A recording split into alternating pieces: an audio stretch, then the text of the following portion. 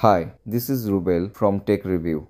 Today I am going to show you how to fix the error 2147942402 and 0x80070002 when launching the command prompt. To fix this error, click on the Start menu, type PowerShell.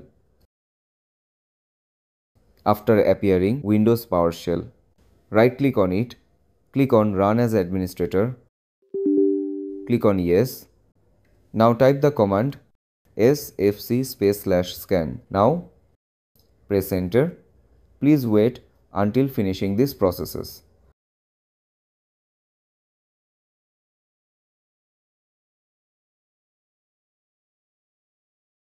After finishing the processes, restart the computer.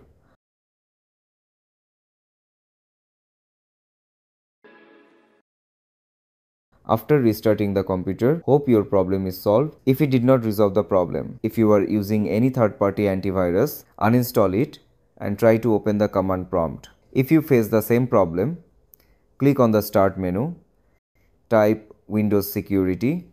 After appearing the Windows Security, click on it, click on Virus and Threat Protection, click on Quick Scan.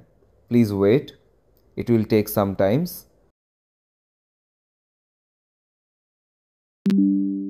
After finishing the quick scan, close the Windows security, try to open command prompt. Thanks for watching this video. Hope you like it. Please do subscribe to my channel. Also give a thumbs up. Take care.